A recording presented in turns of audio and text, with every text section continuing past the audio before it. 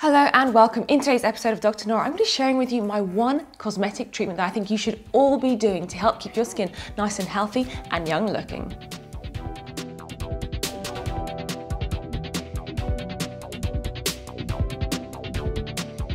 Now, I'm not talking about expensive moisturizers, I'm not talking about anti-wrinkle treatments, dermal fillers, no, no, no, no, no, no, no. That is all out the window. I'm talking about sunscreen. Did you know that the sun actually causes premature aging of our skin? Shocking, isn't it? That is because the sun emits UV radiation. What does that mean? Well, it means ultraviolet rays. Now, there are two types of ultraviolet rays, UVA and UVB. UVA is responsible for causing our skin to age. Ew. UVB is responsible for burning of our skin. Ew. So every time you go outside into the sun, whether it's an overcast day or if it's a really bright sunny day, there will always be UV radiation emitting onto your skin. UV radiation is emitted in long wavelengths. That means it can travel further and it actually goes deeper into our skin. Whereas UVB radiation is a lot shorter in its wavelength and it penetrates the most superficial parts of our skin. Now, both of these radiations are responsible for a lot of causes or irritations to our skin, such as obviously burning of the skin, but also in more serious cases, they can be responsible for skin cancers. So we're talking about things like basal cell carcinomas, squamous cell carcinomas, and if you leave yourself long enough in the sun, it can also lead to melanomas, which can be deadly. Whew, that's quite heavy, Dr. Nora. Okay, so it causes skin cancer, but how does it age my skin as well? Well, I'll tell you just how. UVA radiation, which is the one that goes down deeper into our skin, actually activates some enzymes that break down the collagen within our skin layers. Now that leads us to have saggy looking skin, depleted skin, we lose all that elasticity, and we also develop fine wrinkles on the skin surface.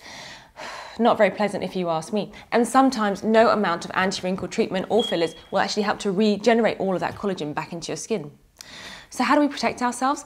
Well, you'll see out there if you live in a tropical climate like myself in Australia, there are loads and loads of sun creams that are available. But how do you choose one? And how much do you apply? Well, you have to choose a sunblock that actually covers you both for UVA and UVB radiation because even though UVA radiation is responsible for aging, it can also cause and contribute to skin cancers as well.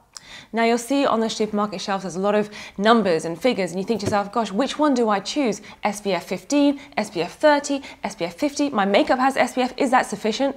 Well, generally SPF 15 that's found in most of our makeups and moisturizers just isn't enough. The SPF number is actually giving you an indication of how much UVB radiation is penetrating into skin. Take for example SPF 30. 3.3% of the UVB radiation is going to penetrate into your skin, whereas SPF 50, only 2% of the UVB radiation is going to penetrate into your skin.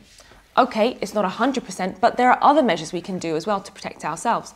For example, putting on a hat when you're going out to the beach, sliding on some sunglasses, wearing protective clothing, and avoiding the peak times of UV radiation, which are typically between 10 a.m. till 3 p.m.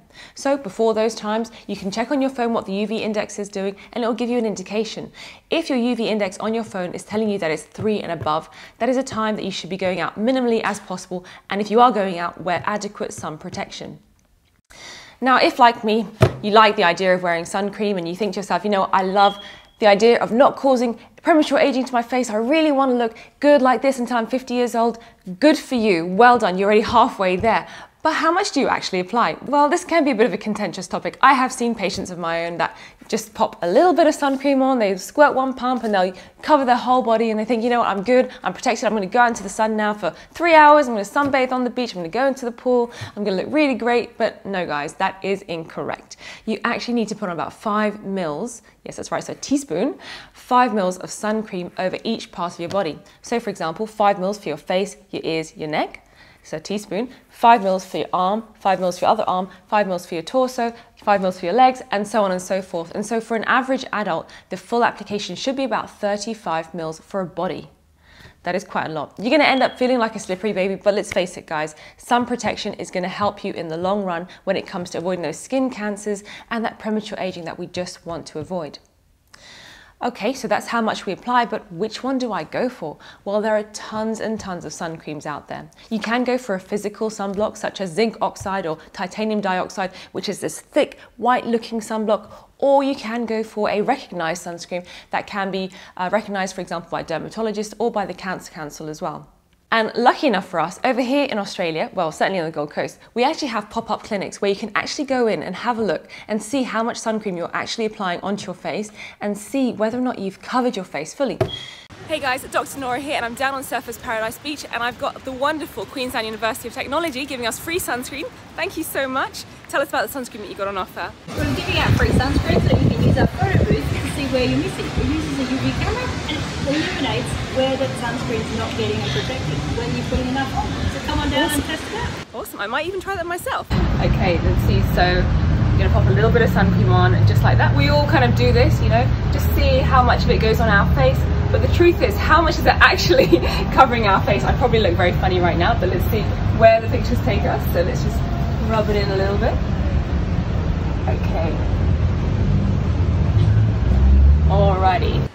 So the darker areas here show me where I've been applying my sun cream and I've got to say my my face is actually pretty good. So you can see that around the eyes, I've missed out a bit of sun cream there, and also around my lips area as well. But generally speaking, the darker areas, I have applied the sun cream pretty good.